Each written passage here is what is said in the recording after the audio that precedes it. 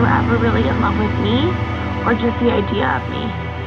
I'll never forget the memories we made, and I'll always cherish the time we spent together, but this is the last time I'll be reaching out.